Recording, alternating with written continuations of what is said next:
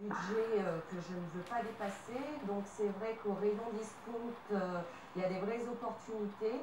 Le bon plan de Sylvie, c'est un rayon estampillé discount qui affiche jusqu'à 80% de réduction. Grâce à elle, Papa Noël va faire de sacrées économies. Mais pas facile pour autant de contenter toute la famille, car la facture monte très vite. Heureusement, vous allez découvrir qu'il existe de très bons plans pour dénicher de beaux cadeaux à prix mini.